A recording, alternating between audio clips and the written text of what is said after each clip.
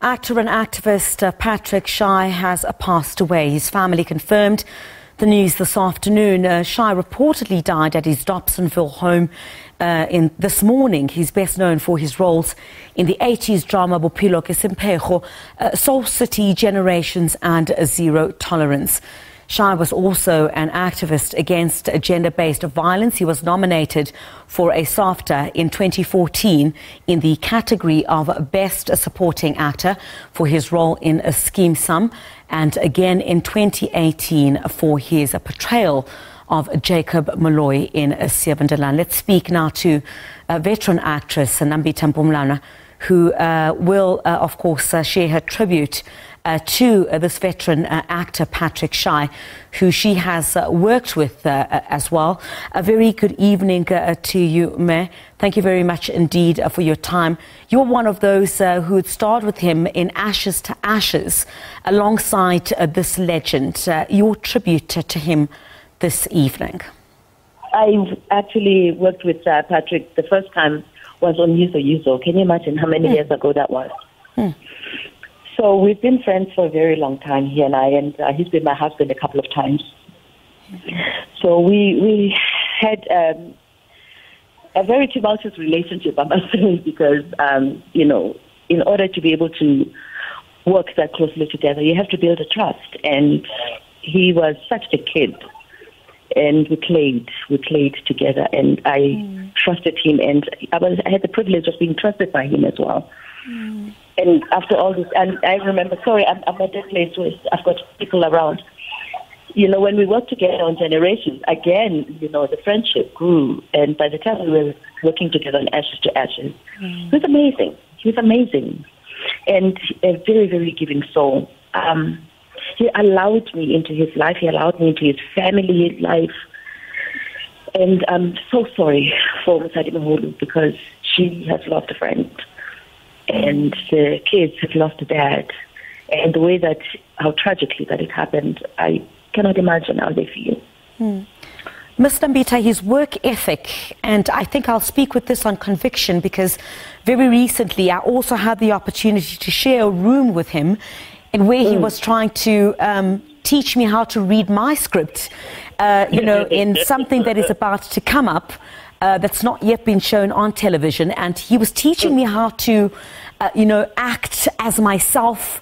Uh, so convincingly. Talk to me a bit about that. While telling somebody else's story. So, it, it's unbelievable. I, I, was quite shocked yeah. when I heard this, and how he was such.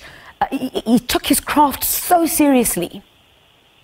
We had uh, we were we, he and I were old school, and he and I would be number one, number two on different productions but we always played a similar role in that we, we had the culture of taking in and taking on young people and yeah. grooming them to take over from us. Mm. And that was our ethos that there must not be a gap when we're gone. There must be somebody else to fill in, to, to, to maintain the standard and to carry the baton. And, you know, um, I, even being his peer, learned so much from him. I remember an opportunity that we were negotiating for working hours and we were negotiating, and this is after the generation saga, we were negotiating for working hours and salaries. And I was able to stand back and let him speak for both of us, and he was unafraid. And he taught me so much about that, you know, that we take turns in, in, in, in the leadership and we take turns in guiding and we take turns in following and learning. He was such an amazing student as well as a teacher. Mm. His passing comes at a time where your industry has been very vocal about how it's been treated in terms of, uh, you know, COVID 19, the assistance as well that you've gotten as actors uh, uh, and, and, actresses, those in the arts in this country. Uh, what would you say? Uh, his passing comes at a time where I don't think there is much uh, uh, to celebrate within your industry at the moment. There seems to be a lot of unhappiness about how uh, your craft has been treated, even though everyone has been negatively impacted by the COVID 19 pandemic. I think uh, I think the, the, the country, the nation, I want to put it, has forgotten who we are and what uh, and what we bring to, to, to the world and to the nation and into your living rooms.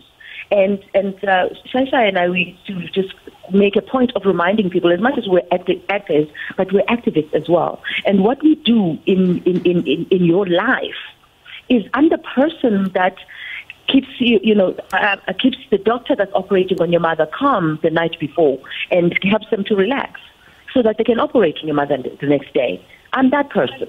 And when you disregard that, you forget the impact that I have. People think that, oh, I suka namdifike, you know, I can mm, do what you do. Mm, mm, mm, and now you're saying, and I'm grateful that you're saying what you're saying, that you actually discovered that there is a lot of work that, you know, that, that, that goes into what we do.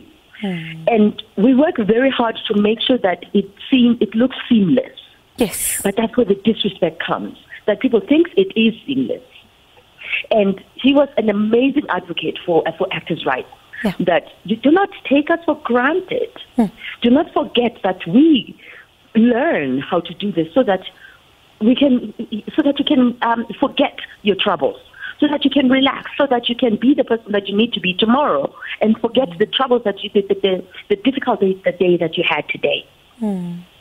So it's a sad day losing him, but I feel in my spirit that, you know, because we're at a different stage right now, we're actually moving forward with the Department of Labor. I feel like I'm carrying his spirit with me in, mm. in that meeting coming up next week, mm. in that, you know, in his name, do something. Yeah. It should not be in vain.